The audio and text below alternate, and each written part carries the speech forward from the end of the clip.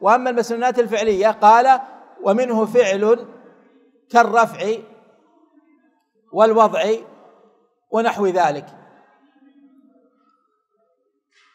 الرفع والوضع أي رفع اليدين عند التكبير. هذا المقصود بالرفع. والوضع أي ووضع اليدين على الفخذين عند الجلوس في التشهد وبين السجدتين.